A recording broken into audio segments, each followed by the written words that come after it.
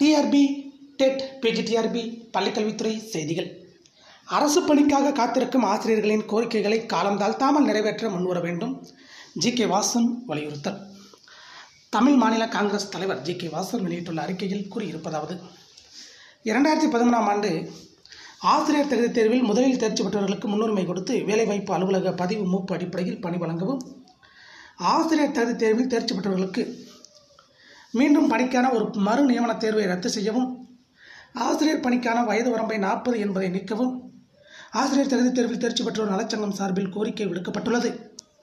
மேலும் மாணவ செல்களின் கல்வி வருங்கால முன்னேற்றம் அதன் மூலம் மாநில வளர்ச்சி நாட்டின் உயர்வு ஆகியவற்றை கவனத்தில் கொண்டால் ஆசிரியர் பணி மிக மிக முக்கியத்துவம் வாய்ந்தது. எனவே தமிழக அரசு ரெண்டாயிரத்தி பதிமூணாம் ஆண்டில் ஆசிரியர் தகுதி தேர்வில் தேர்ச்சி பெற்று அரசு பணியின்றி தவிக்கும் சுமார் அறுபதாயிரம் ஆசிரியர்களின் கோரிக்கைகளை நிறைவேறும் வகையில் நடவடிக்கை எடுத்து அவர்களுக்கும் அவர்களின் குடும்பத்தினருக்கும் உதவிடுமாறு வலியுறுத்துகிறேன். இவ்வாறு அவர் கூறியுள்ளார். இதை போன்ற பள்ளிக்கல்வித்துறை டிஆர்பி டெட் செய்திகளை உடனுக்குடன் தெரிந்து கொள்ள நம்ம சேனல் சப்ஸ்கிரைப் பண்ணுங்கள் ஷேர் பண்ணுங்கள் லைக் பண்ணுங்கள் நன்றி வணக்கம்.